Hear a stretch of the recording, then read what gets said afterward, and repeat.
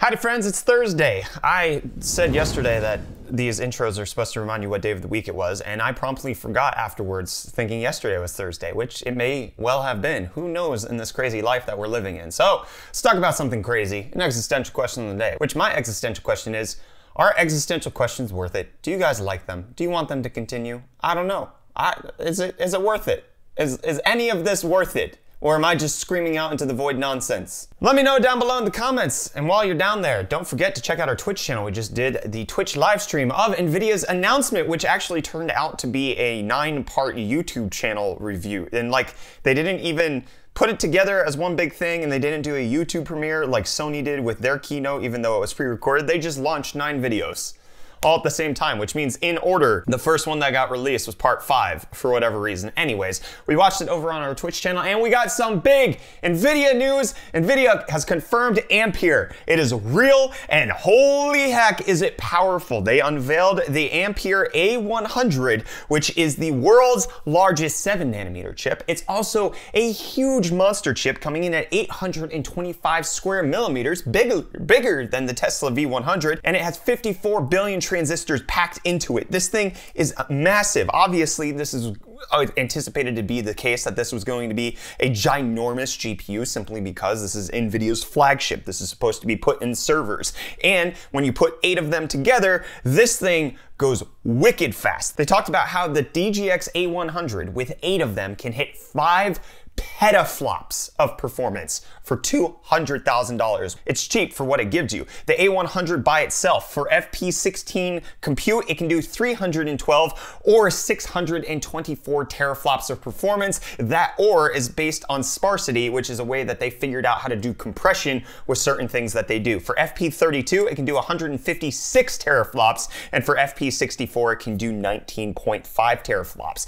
It has 1.6 terabytes per second of memory bandwidth on a 6,144-bit bus with HBM2E and draws only 400 watts. This thing is mondo big, mondo massive. It is scarily large and it seems like this is just the way of the future for NVIDIA. Ampere making huge generational improvements over Volta. Jensen saying that it's about 20 times as powerful, not just due to the raw power, but also ways that they figured out to make FP32 more accelerated. They found little tricks and hacks in the math to make it just run faster. So without, without, mind you, the need to tune it. You don't have to program for it. It'll just do it for you, which is insane. If we see anything like this come to gamers, which bad news for you, although it's not really news. They didn't announce anything with the gaming side of things, except for the fact that Ampere will be part of their gaming lineup. That's that's the big revelation that Jensen gave us. That Ampere will be both high performance compute as well as gaming. So gamers are going to get Ampere. And I just, I'm excited to see what it's going to be after NVIDIA dropped this. But it's not the only thing that NVIDIA talked about during their several sets of videos for their GTC keynote. Most of it was focused on AI. They had a conversational AI, which was scary as all heck because, oh my gosh, that's just gonna give telemarketers a huge advantage on trying to converse with people and scam them out of their money. They also talked about their Drive AI. They talked about new SDKs. They talked about Merlin. They talked about Isaac. They had several different new things that they were talking about with regards to how to develop for AI, and that's the big thing behind the a100, it is an AI chip. It's basically meant to make AI easy, and you can replace an $11 million server that was previously with NVIDIA with a million dollars of these things. So it is 10% of the cost for the same performance, which is phenomenal by them. Fun fact, the DGX A100, which has those 8 ampere A100s, it uses an AMD Rome processor. So fastest GPU in the world, running AMD. You're welcome. The scariest bit about NVIDIA's keynote was the opening because it was all AI generated. The voice was AI generated. The music was AI generated. It was scary. Scary, scary Westworld vibes. I am even the narrator of the story you are watching. Of the story you are watching. And the composer of the music.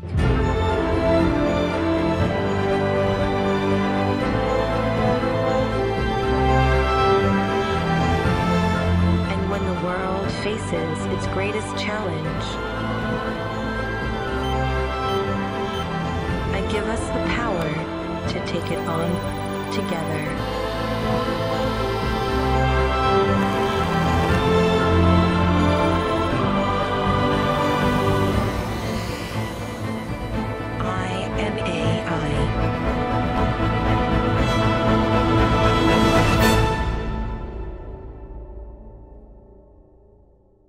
Reece was terrified. He's shaking in his boots right now. I'm so scared. Ah, he's so scared. So let us know what you think of Ampere down below in the comments. We still have to wait for NVIDIA to give us the gaming news, but it's very clear that they have not been resting on their laurels. They are charging ahead and basically wanting to decimate the entire data center market with the things that they can come up with. It was crazy.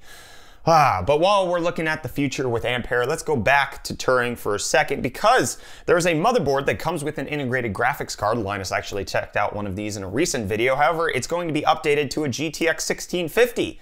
So there you go. But let's talk about the future again. Okay, we talked about the past. Let's just go back to the future. And let's talk about the Unreal Engine 5 demo that came out yesterday, which made me more hyped for the future of consoles than anything Microsoft has showed off so far. Like we can talk about the fact that the Xbox Series X had a better console reveal. 12 teraflops in a GPU gets my my my excitement all bubbling up, but Unreal Engine 5 games looking better is absolutely wanted to, what I wanted to see. All of the games that they're showing for the Xbox Series X looks like Xbox One X games, just a little prettier. That's it.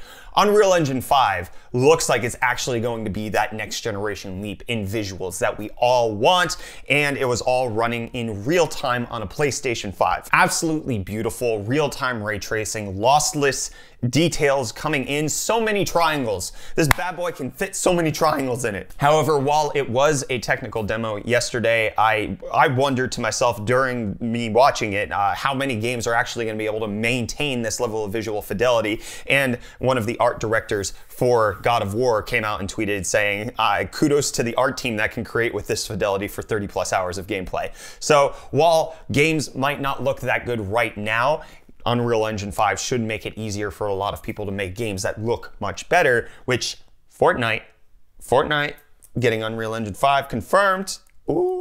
I'll talk about that in a second, but this is also coming out with Tim Sweeney, the CEO of Epic Games, saying that the PlayStation 5 is a remarkably balanced device and saying that the SSD that is on that console is way beyond anything that's on PC right now, which is true at least from the technical specs. Most people cannot hit 7 gigabytes per second on a single drive and they don't have the IO throughput optimized to do what the PlayStation 5 SSD can do. So the PS5 does seem like to be a tremendous console, even if its GPU is a little little underpowered overall. It's a massively, massively powerful console, but also Epic Games announcing that with Unreal Engine, you, you now don't owe the company any money for royalties until your game makes a million dollars in sales. The previous amount, where they took a 5% fee, was at $50,000 is when they started collecting it. Now, if you don't earn a million dollars with a game that you made with Unreal Engine, you don't pay them.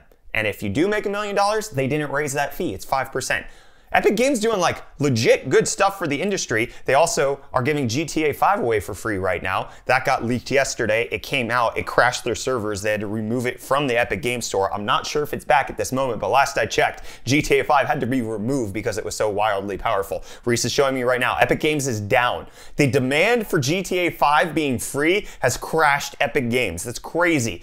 Getting back to Fortnite for a second, it's been confirmed that Fortnite will be a PS5 and Xbox Series launch title and will migrate over to Unreal Engine 5 later next year, but it makes sense that it would be on the consoles at launch. So there's that. Speaking more of about the PS5, there's some indication that Sony will be having a state of play event on June 4th for the PlayStation 5 and that it might feature an entire slate of games, which I just Jak 4, and Horizon Zero Dawn 2. Why did Mark Cerny show off Jak and Daxter in the PS5 technical specs? Why did he talk about Jak and Daxter if we're not getting either an Unreal Engine 5 Jak and Daxter remake of the trilogy or Jak 4?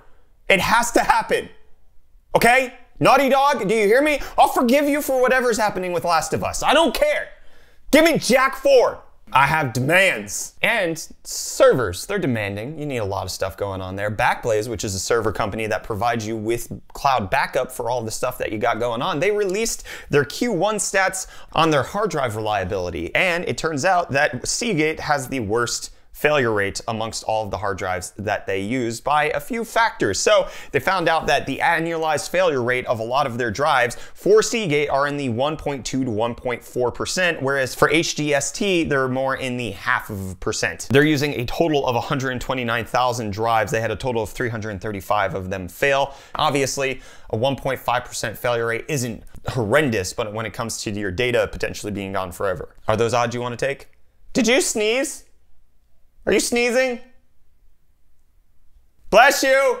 And let's bless Google for a second because they are coming out with something that I desperately need, which is group tabbing for Chrome. You can take all of the tabs that you have and merge them into a group and then have separate group tabs. It's phenomenal because people always complain when we do our Hot News Live live streams that I have way too many tabs open because that's just how I do Hot News. I have each tab and I just go from tab to tab, make that happen. If I could slim that down and make it not look as so terrible, well, I'll do it. It's available currently on Chrome Beta, so you can check that out if you so desire. I'm gonna wait till it comes out to the regular Chrome because I can't have nothing crashing on me and we can't have high altitude balloons crashing. That's a fact. Loon trying to make sure that doesn't happen. And it's been announced that Loon is going to be partnering with Vodacom in Mozambique to provide internet to some of the rural regions there, especially where there is no 4G coverage for Vodacom. And they came out and said that the people who use their network should have no indication that they're using high altitude balloons, besides the fact that they'll now have coverage in places they never had coverage before. But coverage is not going to help you, Intel with your 10 series launch because nobody's buying these, okay? The pre-order pricing has come out and it's a little confusing because the pricing that Intel gave was for their trays of a thousand, how many you should put, the, how much that would cost. So it's like $500 for a tray of thousand of the 10900K. Well, release pricing has come out, pre-order pricing.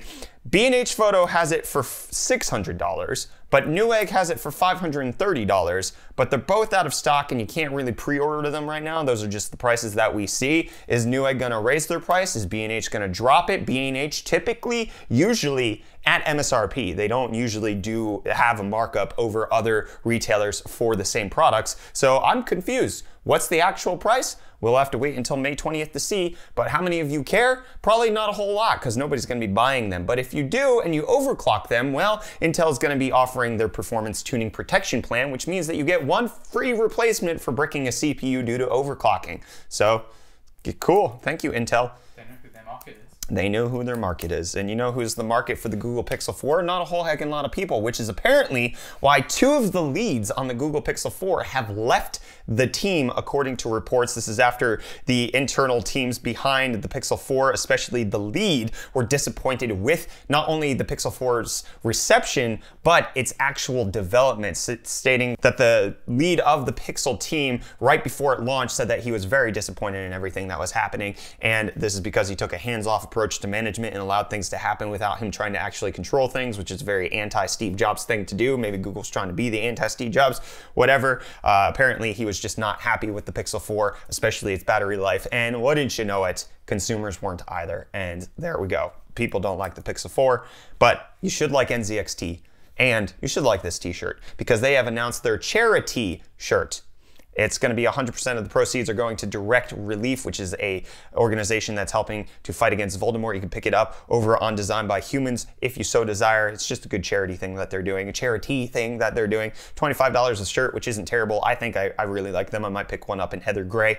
I'll see about that. But yeah, in case you want to do that, 100% of the proceeds go to Direct Relief, and that's going to be the end of Hot News today. What do you think about the NVIDIA news? What do you think about everything we talked about today? Let me know down below in the comments. Don't forget to hit the like button if you enjoyed the video. Don't forget to hit the like button if you enjoyed the video here. Don't forget about the existential question, which is, are existential questions even worth it? Let me know down below in the comments. And while you're down there, just click off the video because I'm done. Bye.